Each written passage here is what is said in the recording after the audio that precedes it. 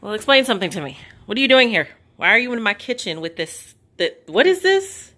It's a center console for a GMT 400. Okay. So this came out of a, I think a 98 Yukon, I believe. And this is going to go in the Silverado. Okay. You know why it's going in the Silverado? Why is it going in the Silverado? My one's broke. Ah, okay. So we have to do this to You get it fixed. Like, kind of like falls apart in that truck. You right.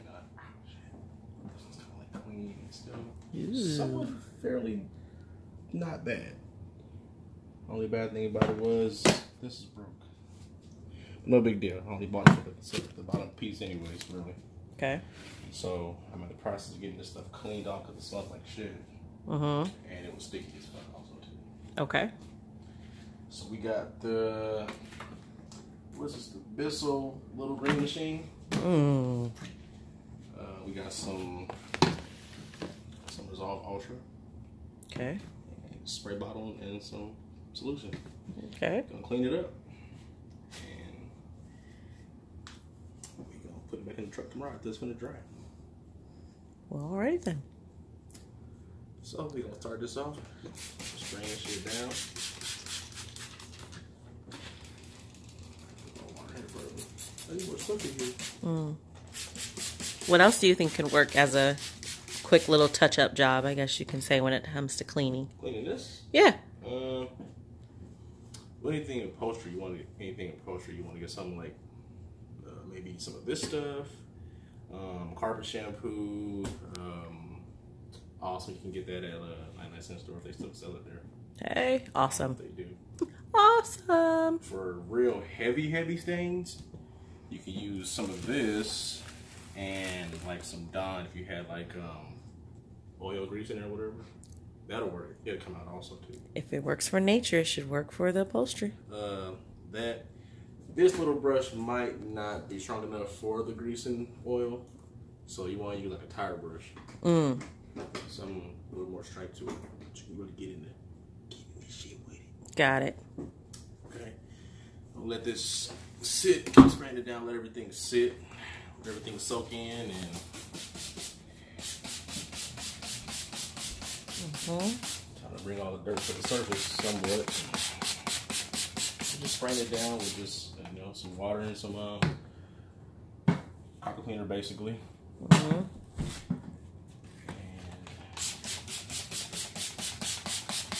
get everything on it, you know, wet, and try to bring some of the surface dirt, to the, bring the buried dirt to the surface, Right. And hopefully get it smell good also too. Well, all right.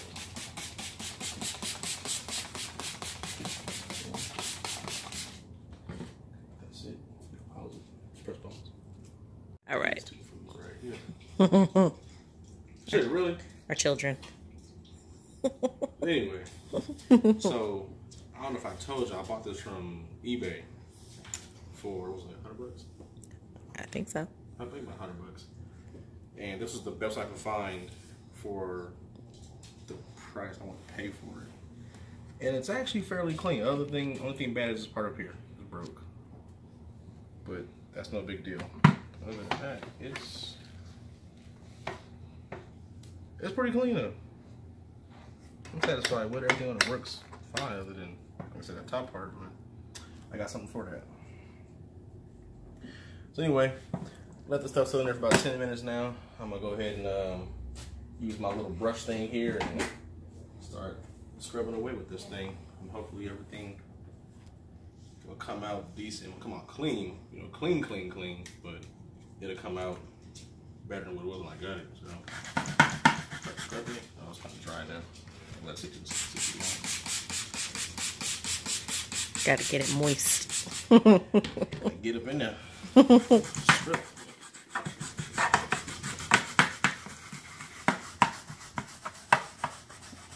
Scrub it. Now you can't use a tire brush on that on, this because it's too fine. It tear, tear the carpet up on this. It's not. This is not like carpet you see on the floors. It's like upholstery carpet, armrests, seats, and stuff like that. Tire brush is there too abrasive for this. Let's just scrub it, you know. And we let it sit for a minute. Well, no, I'm not. I'm Suck it up. Suck it up, suck it up. It's dirty.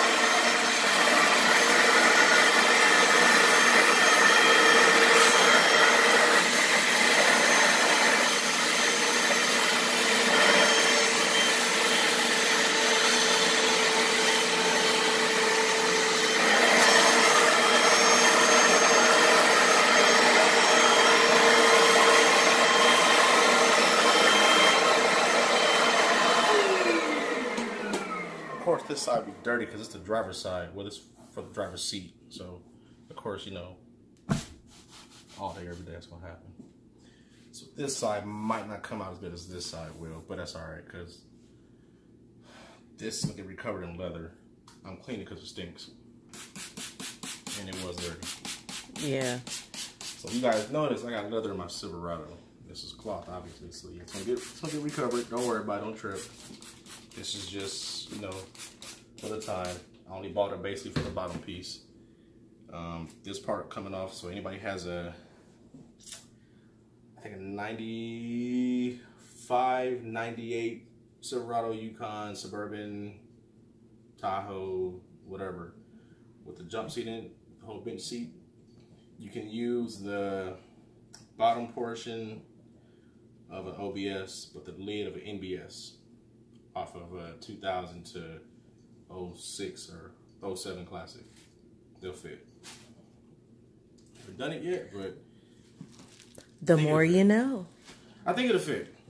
I think it will. If it does fit, I'm just order the, the lid for it and just swap them out. We should have had like the reading rainbow sound. Half it at that at that moment. Sound. That's that's yeah. You're not doing all that. The more you know. Knowledge is power. It, but you know what? Like, like I said, I'm, I'm gonna try it and see if it fits. If it fits, then I'm gonna go ahead and rock with it. I like the NBS lids anyway compared to these. These kind of like useless. Put papers and pens in here, but I don't. Papers and pens in here. it comes in handy. It's not a race truck. Well, it's a, it's a street truck, not a race truck. So I don't even drive as it is now, really.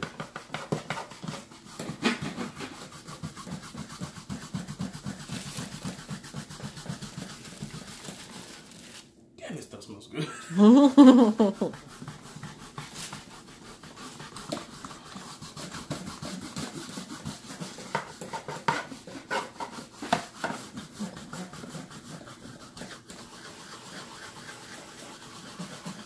right, let's suck this up.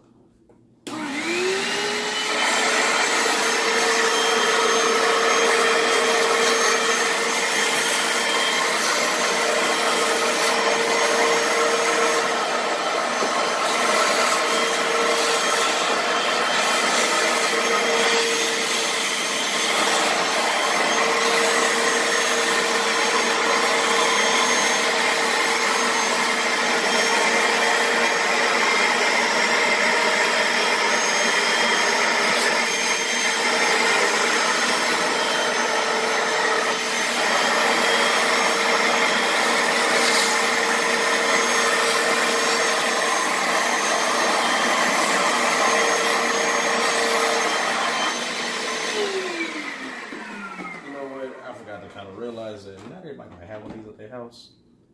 I at Walmart two years ago for like 80 bucks. And I use it for almost everything. Yeah, okay. Yeah, it's pretty dirty. Mm-hmm. I think we just figured it's 20 years old also, too. That's that's not really bad.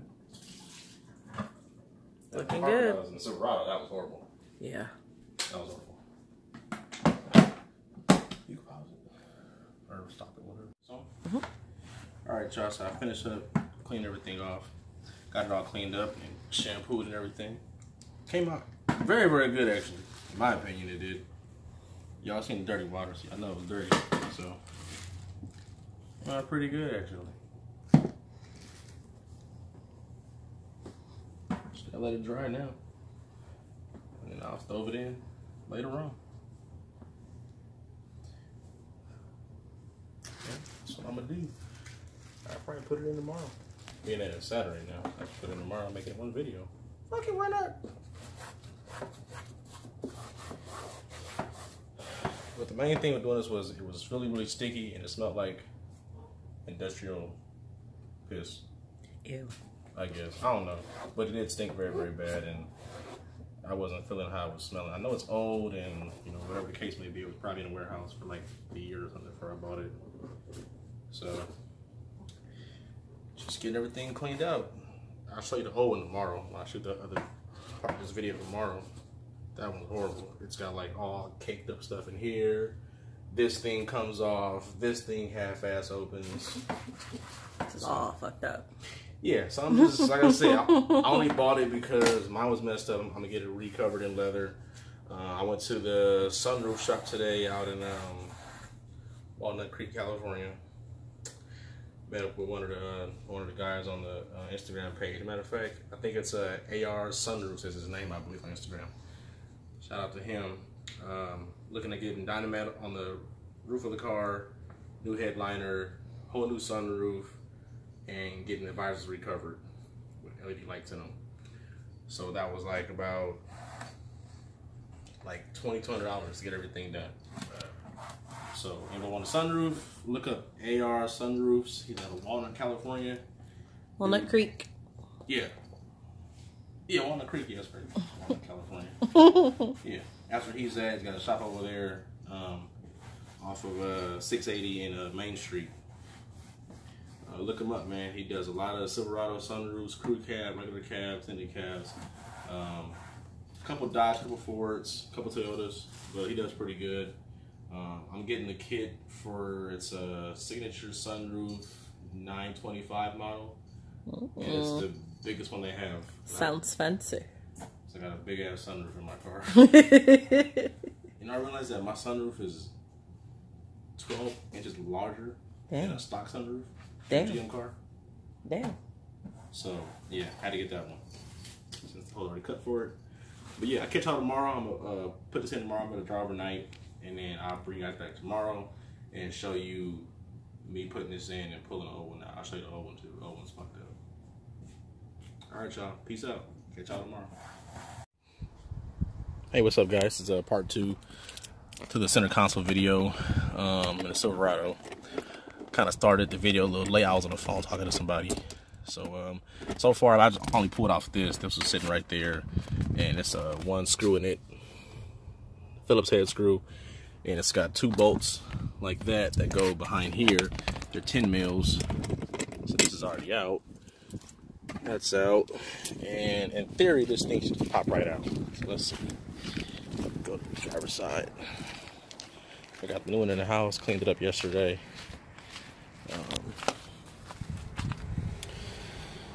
it's already dry, ready to go in. This should just come right out. Let me pause real quick so I get this out. All right, it's out. I had to push it that way and then this way to get it out. This one's broke.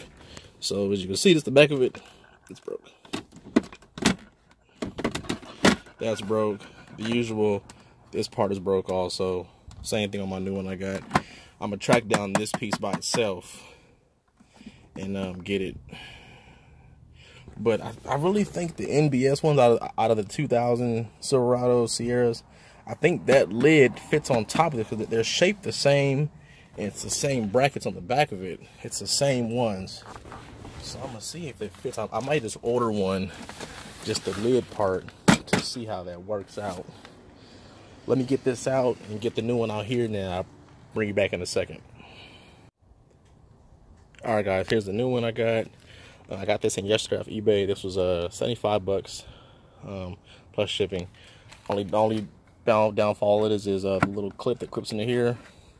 That part there, it's broke off, but it has the peg there. That's in good condition. If you can see mine's, mine's a little warped and beat up and everything. Like I said, this thing's broke. Yeah, this is all broke. Yeah. So let me go ahead and um, get this in. And you probably wonder, like, okay, this is cloth. You got leather interior. I'm gonna get this re-wrapped. Gonna get that insides done. I'm gonna get this re-wrapped. Um, get everything back gray. I'm um, probably get new door panels probably for it. I'm gonna take these off. This um, glue on shit or if they can pull it off and kind of clean it up. I'm gonna get this done in leather, like it is for, it, but it was glued on. I'm gonna get it stitched on, and then I'm gonna have a Centurion put in here on all four corners, and then um, I'm gonna get the, the back lights here. These are like dummy, like reflectors. I want to get an actual light in there, like it is on the front. You can't see it's on now, but yeah. So let me get this stoved in, and um, I'll bring you guys back in a second when I get it in there. All right, cool. All right, guys, got it in. Went in no problem. Went in actually pretty good, actually. You know, it's got that locking mechanism in. So we got lifted or something like that, but I don't know. It comes down. It's the same thing as that one back there, except for this one. They get hung up a lot. This one doesn't come down. I got it down once before. It's like some way you gotta pull it out. I don't know, but what I don't care. It's in. So um, should I put this in here and I'm done. That's it. All right, y'all. Peace out.